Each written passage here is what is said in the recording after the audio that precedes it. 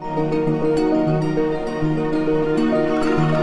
Buenas tardes. Nos fijamos en el cierre de las bolsas en el viejo continente en una sesión en que la Comisión Europea ha anunciado que valorará el impacto del rescate bancario sobre el déficit de España. En este entorno, el IBEX 35 ha cerrado con una caída del 0,46% hasta 7.877 puntos.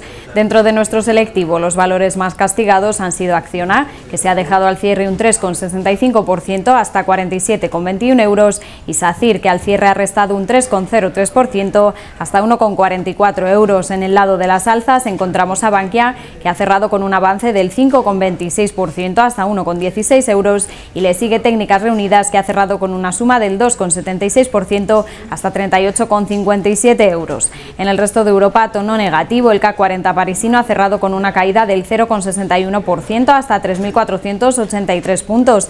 El DAS germano se ha dejado al cierre un 0,71% hasta 7.328 puntos. El FTSE 100 londinense, que ha cerrado con un retroceso del 0,22% hasta 5.882 puntos y la media europea, el Eurostock 50, que ha restado al cierre un 0,52% hasta 2.529 puntos.